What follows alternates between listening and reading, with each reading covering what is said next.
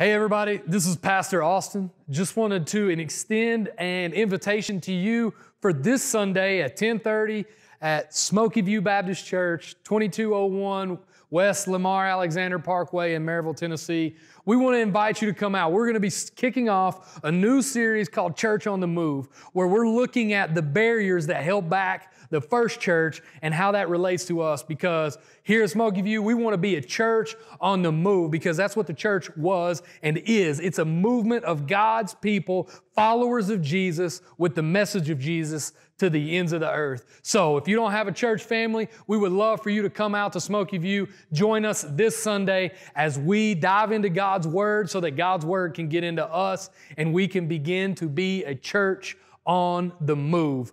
That's what I want to be a part of, and I think you want to be a part of that too. So come see us, 1030 Smoky View Baptist Church.